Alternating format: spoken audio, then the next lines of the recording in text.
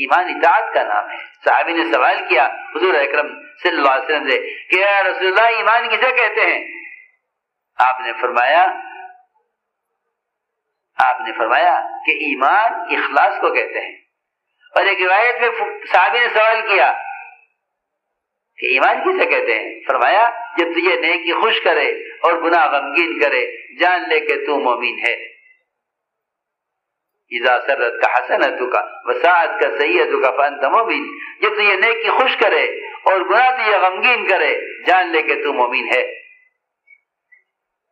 اس لیے ایمان تو سراسر اطاعت کا نام ہے۔ فرمایا حدیث میں کہ مومن اللہ کی اطاعت میں نکیل پڑے ہوئے اونٹ کی طرح ہے۔ جہاں چلاؤ گے وہاں چلے گا، جہاں بٹھاؤ گے وہاں بیٹھ جائے گا۔ کہ مومن اللہ کی اطاعت میں نکیل پڑے ہوئے اونٹ کی طرح ہے۔ جہاں چلاؤ گے وہاں چلے گا، جہاں بٹھاؤ گے وہاں بیٹھ جائے گا۔ اس لیے اللہ رب العزت احکام دے کر ایمان کا امتحان احکام سے لیتے ہیں۔ ایمان کا امتحان احکام سے لیتے ہیں کہ دیکھتے ہیں یہ کتنے ماننے والے ہیں۔ عجیب بات ہے۔ صحابہ کرام کے ایمان کا امتحان احکام میں لیا گیا ہے۔ اور آج بھی یہی بات ہے کہ ایمان کے امتحان سے یہ نہیں کہ اللہ کرنے والے ہیں۔ جب اللہ کرنے والے ہیں تو تم نے اللہ کی ذات سے ہونے کے لیے اور اس کے عذاب کے خوف سے اور اس کے ثواب کے شوق سے اس کے حکم کو کیسے پورا کیا؟ ایمان کو صرف اس میں نہیں دیکھا جائے گا کہ ہاں ہم کہتے ہیں اللہ کرنے والے ہیں، کہ ٹھیک ہے، اللہ کرنے والے ہیں، تو تم نے اللہ کے وعید کے خوف سے تم حرام سے کتنا بچے اس کے بعد کے شوق میں حکم کتنے پورے کیے؟ ایمان کا امتحان احکام میں ہے۔ میں مثال دیتا ہوں چھوٹی سی۔ حضور اکرم صلی اللہ علیہ وسلم صحابہ کے ساتھ سفر میں تھے۔ آپ صحابہ کے ساتھ سفر میں تھے۔ کھانا ختم ہو گیا۔ کھانا ختم ہو گیا۔ کھانے کے لیے کچھ نہیں۔ صحابہ کو خیال آیا کہ بھوکا رہنا تو ممکن نہیں ہے۔ پیدل چلنا ممکن ہے۔ تو کیوں نہ سواری کو ذبح کر کے تھوڑی سی پیدل چلنے کی مشقت برداشت کر لیں، لیکن بھوک کی مشقت یہ برداشت کرنا ممکن نہیں ہے۔ صحابہ نے سواری ذبح کی اور سواری ذبح کر کے اس کا گوشت بنایا۔ سواری کیا تھی؟ اس زمانے میں گدھے کا گوشت حلال تھا۔ گوشت گدھے کا حلال تھا۔ گدھے کا گوشت حلال تھا۔ حرام نہیں ہوا تھا۔ سواری، ذبح کی اور گوشت تیار کیا۔ جب کھانا بالکل پکنے کے قریب، گوشت گلنے کے قریب صحابہ کھانے کے لیے تیار تھے کہ اب کھانا تیار ہو جائے۔ اور بھوک کی شدت اور کھانے کے لیے اس کے علاوہ اور کوئی چیز نہیں۔ اللہ نے امتحان دیا کہ یہ میرے راستے میں پھر رہے ہیں، دعوت کا کام کر رہے ہیں۔ میں دیکھوں تو صحیح کہ ان میں اطاعت کتنی پیدا ہوئی۔ یہ بات کتنی مانتے ہیں۔ اچانک حکم آیا آسمان سے کہ جا کے اعلان کر دو صحابہ میں کہ اسی وقت اللہ نے گدے کے گوشت کو حرام کر دیا۔ اللہ کو تو خبر ہے۔ کہ میرے بندے ہیں، میرے راستے میں نکلے ہوئے ہیں۔ بھوک ہے۔ جی ہاں سب کچھ ہے۔ دیکھنا یہ ہے کہ مانتی کتنی ہے اطاعت کا امتحان۔ کہ گدے کے گوشت کو زل حرام کیا۔ جب اس کے علاوہ کھانے کے لیے کچھ اور نہیں تھا۔ نعوذ باللہ نعوذ باللہ، کوئی اپنی ناقص عقل سے یہ کہنے لگے کہ سفر کے بعد جو حکم آ جاتا۔ ہم کہتے ہیں، ہم کہتے ہیں، ٹھیک ہے حرام ہے، لیکن ابھی موقع نہیں ہے اسے عمل کرنے کا۔ کاروبار سود کا لیے بیٹھا ہے، چھوڑ دے کہ نہیں ابھی موقع چھوڑنے کا نہیں ہے۔ دیکھیں ہم، معاشرے کا حرام، تجارت میں حرام، سود کا حرام حرام کی کتنی شکل یہ بیٹھا ہے۔ کہتا ہے، نہیں، ابھی موقع چھوڑنے کا نہیں ہے۔ یہ کون سا ایمان ہے؟ یہ کون سا ایمان ہے؟ ایمان تو اطاعت کے ساتھ ہے۔ صحابہ کرام نے سارے ہانی الٹ دی اور سارا گوشت پھینک دیا، برتن دھو کر صاف کر دیے۔ تمام صحابہ میں کسی کی مجال نہیں ہے کہ کوئی چھپ کر بھی ایک گوٹی کھا لے۔ نہیں، اطاعت اطاعت اسی کا نام ہے۔ اطاعت اس کا نام ہے۔ میں نے عرض کیا کہ اللہ رب العزت جو آزماتے ہیں اسباب میں، وہ اس طرح بھی آزماتے ہیں۔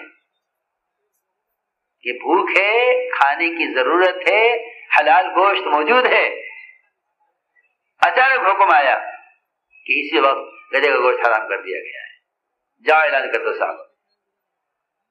اس لیے کہ نبی کے بحثت کا مقصد اطاعت ہے۔ وما ارسلنا من رسول الا ليطاع باذن الله۔ اور یاد رکھنا، جس طرح اس گوشت کو پھینکنا، اس وقت یہ نبی کی پر ایمان لانے اور نبی کے اطاعت کا تقاضا ہے۔ خدا کی قسم، ساری سنتوں کا یہی درجہ ہے۔ ساری سنتوں کا یہی درجہ ہے۔ یہ کہنا کہ تو سنتیں چھوڑ دو، اس کی ضرورت نہیں ہے جو کوئی فرض نہیں ہے کہ نہیں۔ اطاعت اطاعت تو اتباع سنت کا نام ہے۔ اطاعت اتباع سنت کا نام ہے۔ یہ نہیں کہ آپ نبی کے طریقوں میں درجہ قائم کر دیں کہ ہاں یہ یہ تو کر لو، یہ یہ چھوڑ دو۔ نہیں۔ اسلام کا تعارف ہوگا ہی جب جب مسلمان کامل دین پر آئے، اتباع سنت پر آئے۔ ہم نے عرض کیا کہ سب سے بنیادی چیز یہ ہے کہ ایمان ایمان تو اطاعت کا نام ہے۔ ایمان اطاعت کا نام ہے کہ مومن سر سے لے کر پیر تک اتباع سنت پر اتباع سنت پر آئے۔ میں کہتا ہوں کہ حدیث میں مومن کہا ہی اسی کو ہے۔ حدیث مومن کہا اسی کو ہے۔ کہ سر سے لے کر پہلے کی اتباع سنت پر ہو۔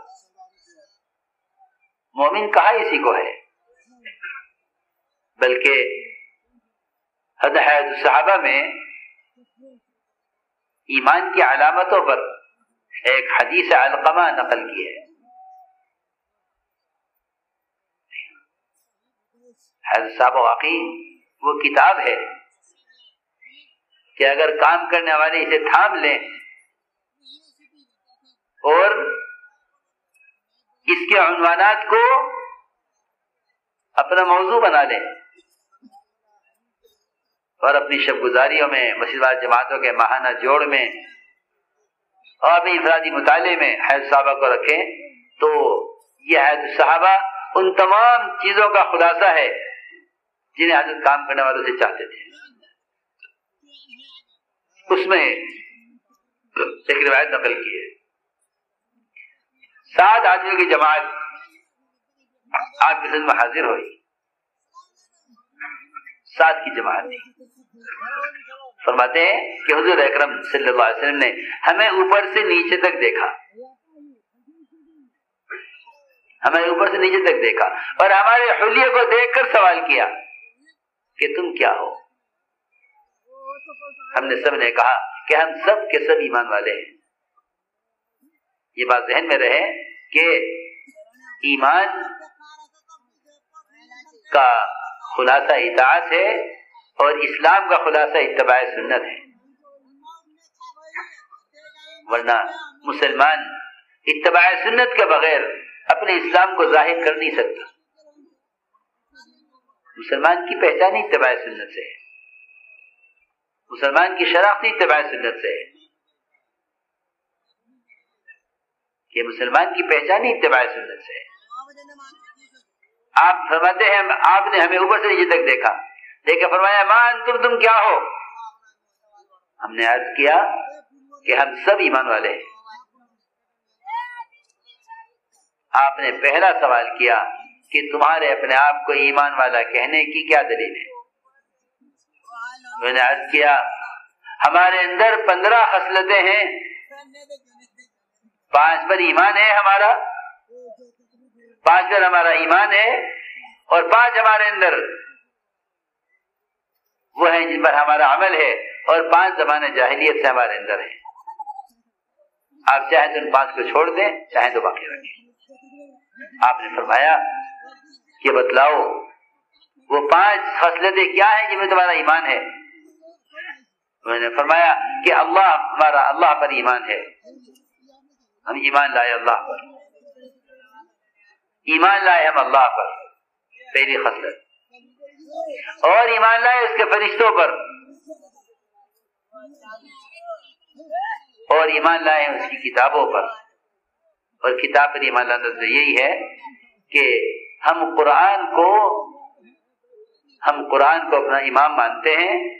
اس نے جس کو حرام کیا ہے، ہم اس کو حرام مانتے ہیں، اس سے بچتے ہیں۔ اور یہی وجہ ہے کہ حضور اکرم صلی اللہ علیہ وسلم نے حرام کام کرنے والے کے بارے میں فرمایا کہ یہ قرآن پر ایمان نہیں لایا۔ ورنہ مسلمان صرف اتنا کہے کہ ہم جانتے ہیں کہ قرآن اللہ کی کتاب ہے۔ کہ قرآن کو اللہ کی کتاب تو مشرقین مکہ اتنے یقین سے مانتے تھے کہ وہ اس بات پر حسد کرتے تھے کہ قرآن ان پر کیوں نازل کیا گیا ہے؟ ہم پر نازل کیوں نہیں کیا گیا؟ جی ہاں۔ وہ تو یقین پر مانتے تھے کہ ہاں اللہ کی کتاب ہے، آخری وحی ہے۔ یہ کہتے تھے کہ طائف مکے کی بستی کے بڑے سردار پر کیوں نہیں نازل کیا گیا قرآن؟ ان پر کیوں نازل کیا گیا ہے؟ میں نے عرض کیا کہ قرآن پر ایمان لانا اتنا نہیں